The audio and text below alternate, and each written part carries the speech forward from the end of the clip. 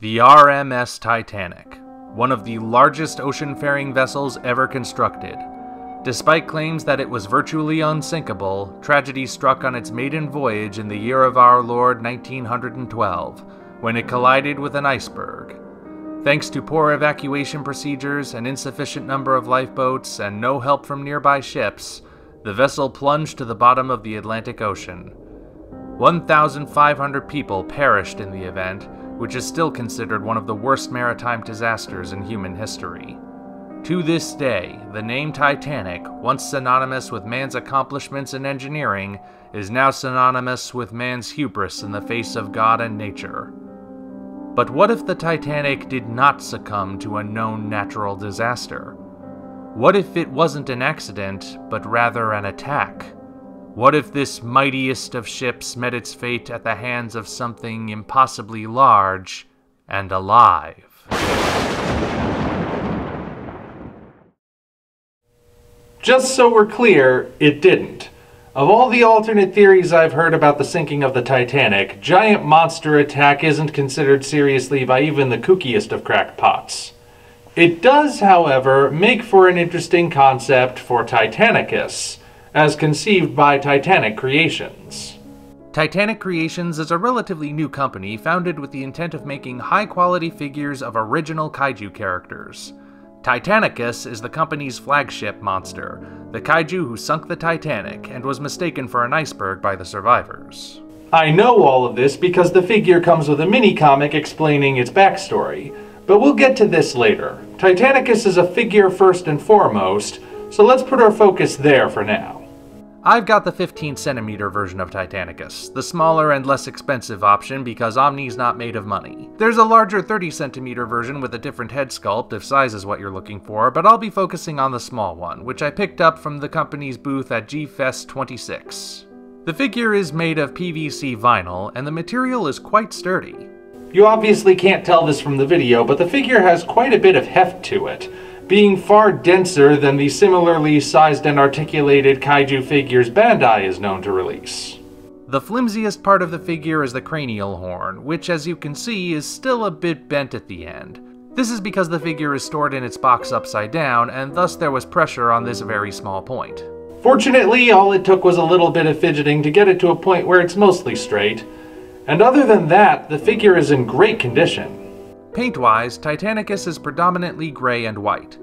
This is very different from most artistic depictions of him. In the accompanying mini-comic, he's colored cobalt blue, though I suppose you can chalk that up to lighting, and on the box, he's bright purple. Not that I think gray is a bad color for a kaiju, I just find it curious. Titanicus's body isn't flat gray, though. There's some airbrushing work that varies between lighter and darker gray, giving him a subtly modeled but naturalistic appearance. The airbrushing even extends into the base of the spikes to make them look as though they are growing out of him. Naturally, the spikes are white to create the appearance of an iceberg, and not much variation is found here. There are a few places on the figure where the paint looks a little worn or incomplete, but they're minor details that are very easy to overlook. You have to get really close at really specific angles to see these portions, so it's far from distracting. The only other color is on the tongue, which is a medium shade of red as most tongues are. Titanicus only has four points of articulation, which isn't all that uncommon for kaiju figures of this sort. Both of his arms move at the shoulders and both legs move at the hips. There isn't really any place to naturally put a neck joint because of how the neck is designed and constructed. A tail joint could have been included, but not having one makes for an unbroken sculpt. Plus, let's be honest, it was probably cheaper to produce the head, body, and tail all as one piece. Remember, Titanic Creations is a new company. As for the sculpt, that's where the figure really stands out. The only parts of Titanicus which are not detailed are the bottoms of his feet, which are flat aside from what I assume is the sculptor's signature on the left foot. Aside from that, Every square inch of Titanicus has detail. As a matter of fact, the spiky portions add the most visual interest to him because they are asymmetrical. Remember, Titanicus is visually inspired by icebergs, and you're not going to find any symmetrical icebergs in nature.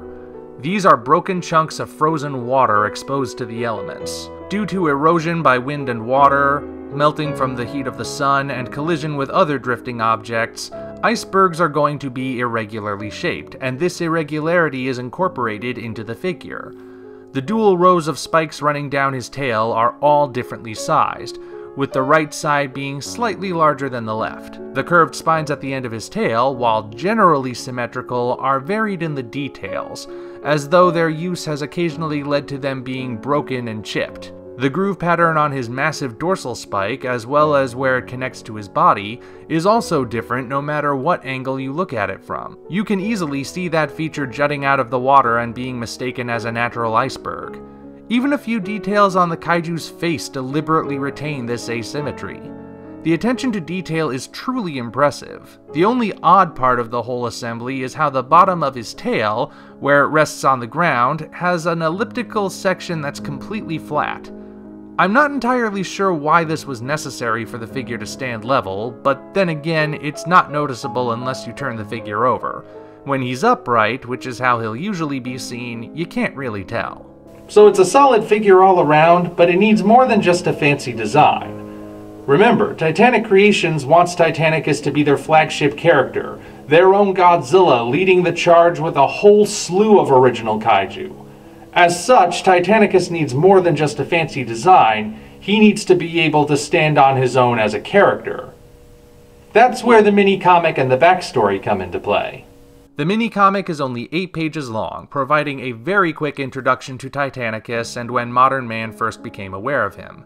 There's very little text, so most of the story and characterization is conveyed through visuals, which paint a clear picture of Titanicus as a menacing, destructive force. He deliberately attacks the Titanic without provocation, as opposed to just being disturbed by it running into him, so he's clearly not a friendly creature. We also get an introduction to his powers, which are appropriately ice based, and a sense of how ridiculously huge he is. The Titanic was 175 feet tall, including the funnels, with a length of 882 feet 9 inches, and Titanicus breaks it in half just by slapping it with his hand like a kid playing with toy boats in a bathtub.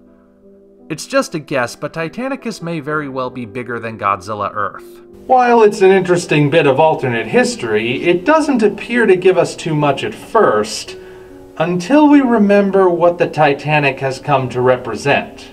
Though much of the story has been distorted by legend, the Titanic is seen these days as a symbol of human arrogance. It was claimed to be the ultimate feat in nautical engineering which was nigh impossible to sink. Then, as if by divine retribution, it not only sunk on its maiden voyage, but its sinking was the worst maritime disaster up to that point in history, and it still remains a measurement for disaster today. Titanicus gives that divine retribution a horrifying face. We can combine this with a trailer on Titanic Creations' YouTube page which says Titanicus is a creature known in myth, sometimes as a destroyer, sometimes as a protector, meaning he plays a much grander role in the natural world. So while there's still a lot we don't know yet, the implication is that Titanicus might indeed be a kind of divine retribution, bringing his wrath down on whatever or whoever deserves it.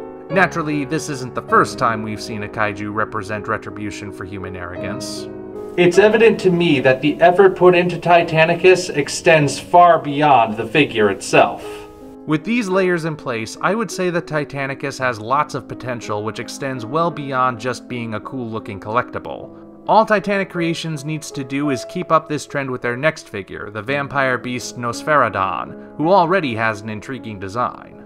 I'm always open to new kaiju experiences, and Titanic Creations has definitely won me over. Theirs is a world of monsters I look forward to exploring in the future.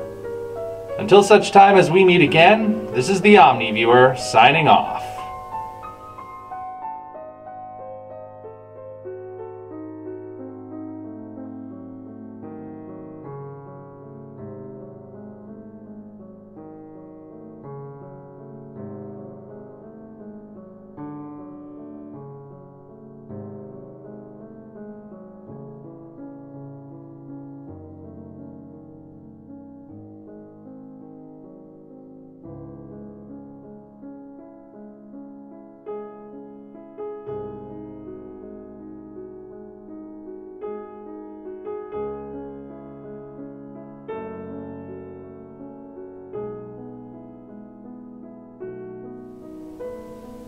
Now, if only I could get figures made of the kaiju in my book.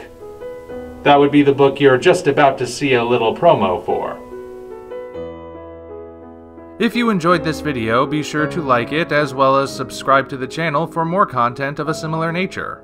Also, check the description for links to our Twitter, DeviantArt, and Patreon pages, as well as the Amazon link for the novel Operation Red Dragon The Daikaiju Wars Part 1, penned by yours truly.